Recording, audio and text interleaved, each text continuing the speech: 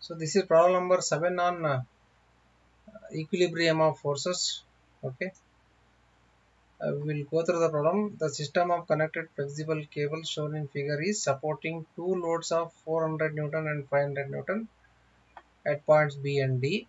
Okay, there are two forces 400 Newton and 500 Newton applied at joints B and D respectively. Determine the tensions in the various segments of the cable. Due to these forces applied, there will be uh, forces induced in the members AB, BC, BD and DE. Okay, so we have to determine the forces induced in all these members. Okay, that is what the that is what the question here. Now, before going to solve the problem, first we have to find the angles. To find the angles, you draw one horizontal and one vertical at joint D and a horizontal at joint B. Vertical is already there. We will find the angles first. Okay? So at joint D we have the 45 degree. We will have the same angle here at joint D. 45 degree. Correct? 45 degree. Then the the total angle here is 90 90 minus 45 this angle is, will also become 45 45 so the overall angle here becomes 90 okay. This 90 plus 45 135 degree. 135 degree. Okay so here uh, at joint B we have 60 degree angle. We will have the same angle here. 60 degree correct? 60 degree. So the overall angle means the angle BDE will be how much? 60 plus 45 105 degree. 105 degree. So here the remaining angle will be means here you will get 30 30 again 30 plus this 90 will give 120 now we have determined angles at joint D. And at joint B the overall angle here is 90 90 minus 30 it will be 60 degree. It will be 60 degree. Okay? And on this side 90 minus 60 will give 30 degree. Okay? So we will stop finding the angles here. Uh, at joint B what I have done is I have determined only the horizontal inclination of uh, member BD and member BC okay? I have not determined the angle between the cables. Okay? I will tell you the reason later uh, while doing the calculation here okay. Now next very important step is to consider the joint. Is to consider the joint. Remember we have to select a joint with not more than two unknowns. Okay. We have to select the joint in such a way that there should not be more than two unknowns. Okay. See if you take joint b no? If you consider joint b force in member BC is unknown. Force in member BA is unknown. Force in member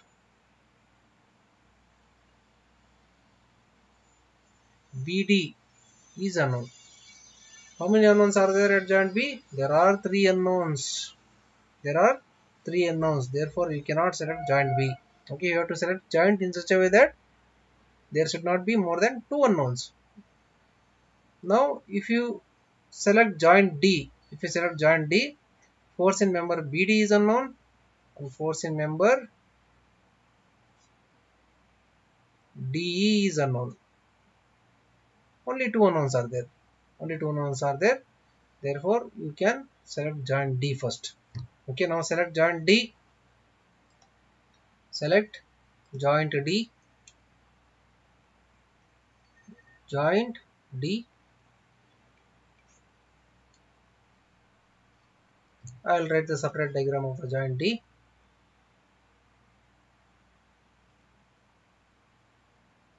At joint D there is a force of 500 Newton acting.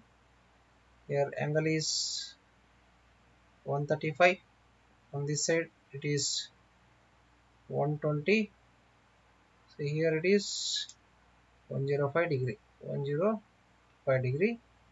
So here TDE so here TBD TBD now apply the Lami's theorem now applying. Lami's theorem Lami's theorem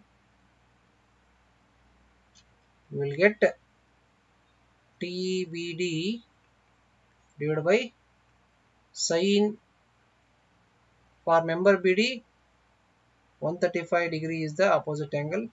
Sine 135 is equal to 500 divided by sine 105 is equal to TDE divided by for member DE opposite angle is 120 degree sine 120 now consider first and second equation therefore TBD is equal to 500 sine 135 divided by sine 105 so you will get the force in member BD okay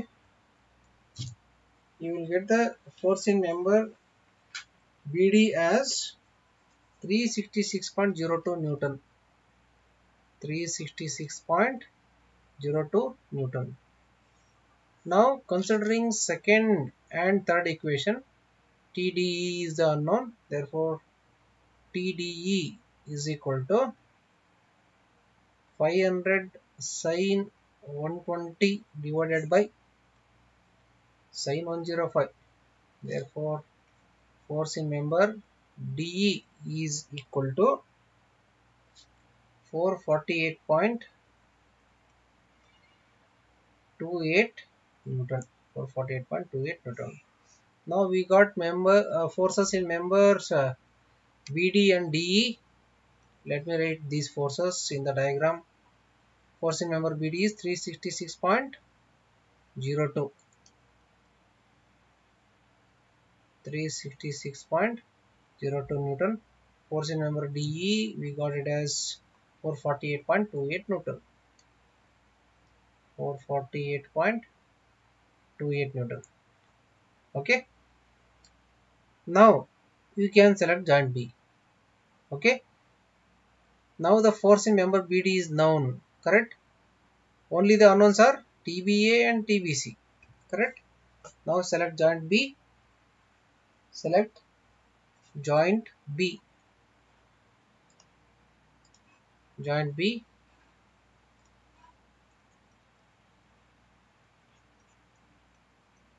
Joint B. Now I'll write the diagram of the joint B alone. At joint B there are four lines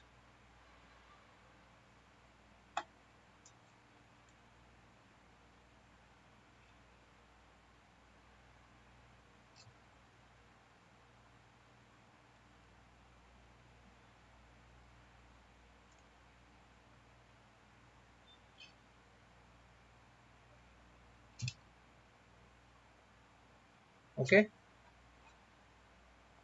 So on the left side it is TBA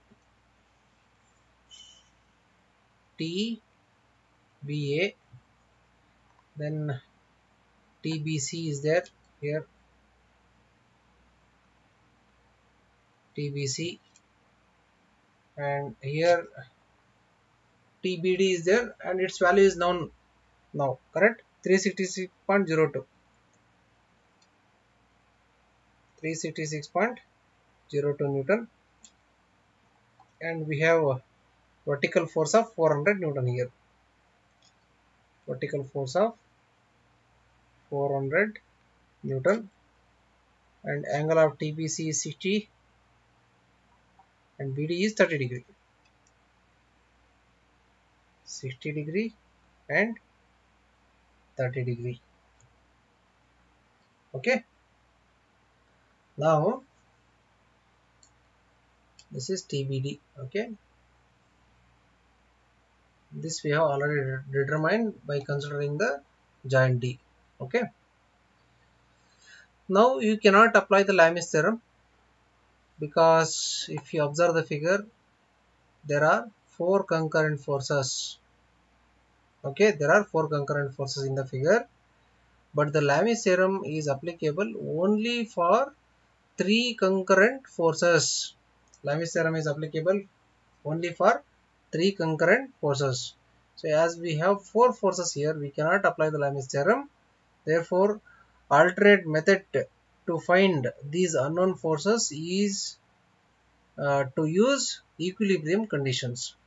Using using the equilibrium conditions we have to solve for unknown forces TBC and TBA okay therefore uh, what I have done is I have not determined the angle between the cables just I have determined the horizontal inclination okay? Horizontal inclination of uh, member BD and the BC okay? We just need these horizontal inclinations to apply the equilibrium conditions. To apply the Lami's theorem we we have to calculate the angle between the cables okay to apply the equilibrium conditions we, we just have to have uh, the horizontal inclination or the inclination of the members with the x-axis. That's it. Okay? So whenever there are four forces you have to calculate just the horizontal inclination of the members. That's it. Okay? So here I will write the components for inclined forces.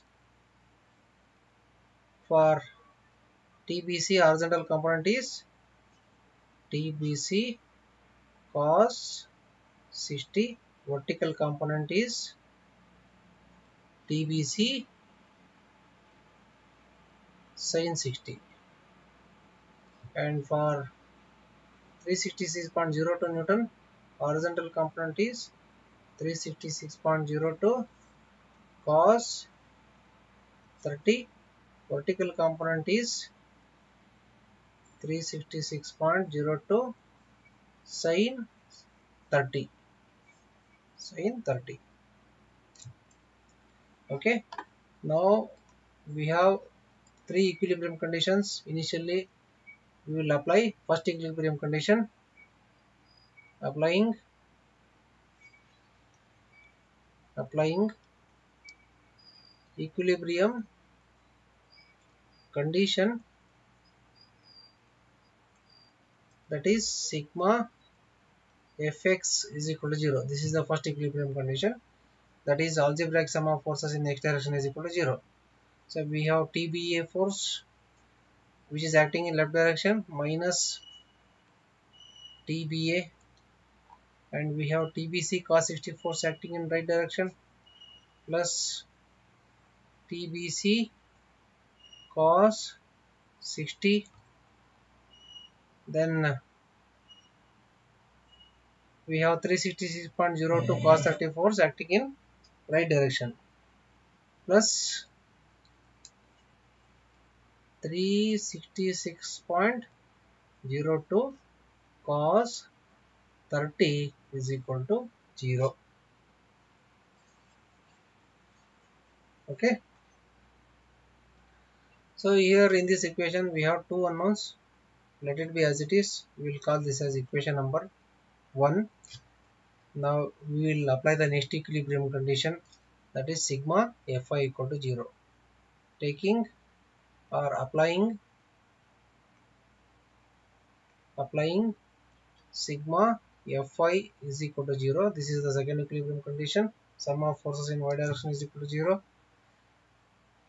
so we have TBC 60 acting in upward direction sin is plus plus TBC sine 60 then we have 366.02 sine 30 force acting in downward direction. Minus minus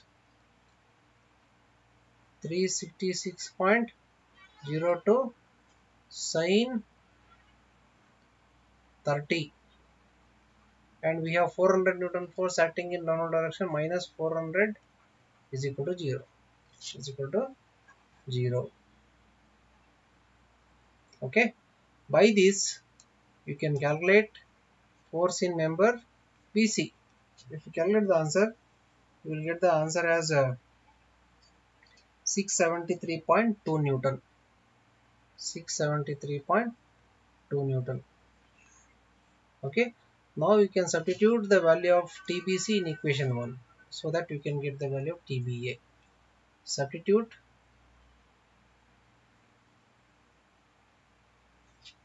The value of TBC in equation 1 therefore minus TBA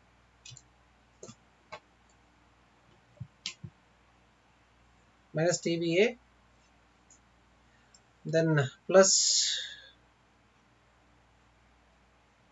TBC value is 673.2 cos 60 plus 366.02 cos 30 is equal to 0 if you take TBA to the RHS and if you calculate the value of these two terms you will get the answer as forcing member BA as 653.58 Newton. Okay. Therefore force in member BC is equal to force in member BC is equal to 673.2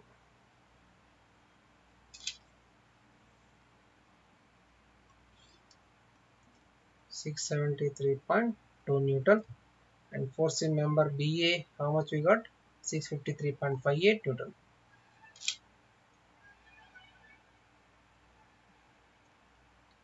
8 Newton. Okay, this completes the problem. We have got forces in all segments of the cable. We got force in member BA, force in member BC, force in member BD and force in member DE. Okay. So to this uh, solution of uh, this particular problem is over. Thank you.